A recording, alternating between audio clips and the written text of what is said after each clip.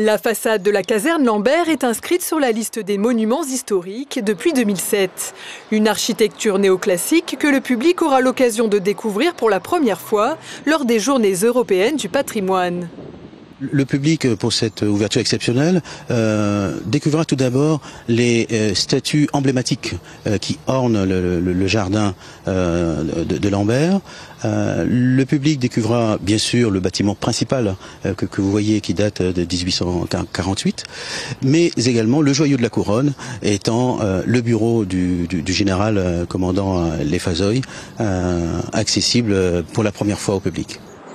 Le bâtiment a été inauguré par le gouverneur Sarda Garriga en 1849, après trois ans de construction.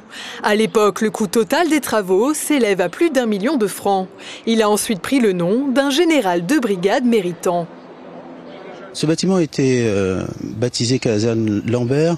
Euh, en, raison du fait d'armes du commandant Lambert euh, lors d'une bataille appelée la bataille la prise de Bazeille, donc une bataille qui est très connue euh, chez les militaires.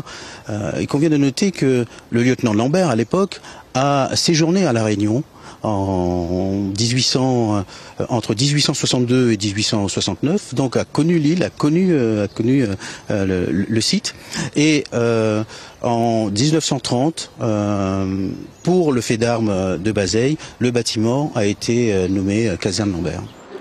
Lors de la visite, le public aura accès à la place d'armes où a eu lieu une célèbre bataille entre les Anglais et les Français en 1810, mais aussi au hall d'exposition et au bureau du commandant des Fazoy qui ouvrira ses portes pour l'occasion.